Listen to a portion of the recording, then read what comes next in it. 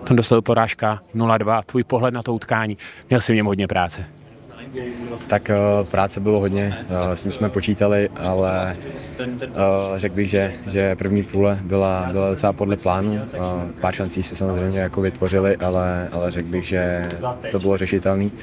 Spoustu, spoustu jsme tam to zblokovali a, a pak jsme si dali nějaký pokyny do druhé půle, bohužel, bohužel nás jako brzo otevřeli a pak bych řekl, že docela eh, dobře jsme se snažili, jakoby, nebo dostali jsme se do něčeho i, i dopředu. Eh, vytvořili jsme si dvě, dvě šance, které jsme dali gol, který bohužel nebyl uznaný, ale 2-0, no. Tak uh, do odvety o jeden by to bylo třeba lepší, ale tak uvidíme. uvidíme. Vypadal si jistě uvolněně. Jak moc ti v tomhle tom pomohl už ten první zákrok, ta nepříjemná střela na tu blížší tyčku z kraje prvního poločasu?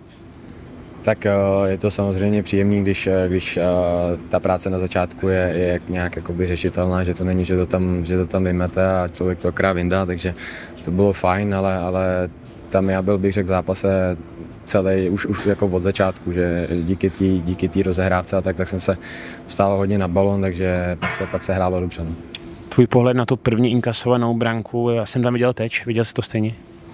A jo, jo, tam, tam oni si to hezky jakoby rychle prohodili a, a já jsem šel, jsem šel jakoby proti, reagoval jsem na tu střelu, čekal jsem, že to, že to, že to půjde jako někam vejš, jak on to měl lehce skákavý a, a bohužel, bohužel tam mohli zblokoval, ale se nedá nic dělat, stane se, prostě 9 z 10 zblokuje a jde to ven, hold, hold dneska to tam zapadlo, ale prostě fotbal a, a příště, příště jsem si jistý, že, že doma v tom zápase to zblokuje a že nám to pomůže k tomu výsledku, co, co chceme a který nás posune dál.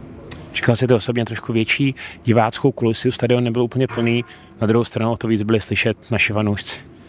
Jo, tak uh, naši, byli, naši byli slyšet jako vždycky, takže samozřejmě velký dík. A jejich, jejich, když jich tady jako nebylo úplně tolik, tak uh, musím říct, že mě překvapili, protože slyšet byli taky, tak, takže atmosféra byla dobrá, i když ten stadion nebyl úplně plný, ale doma, doma bude zase kota, těším se na to a my se na to připravíme teď no, za, za týden, za týden do toho budeme tlačit.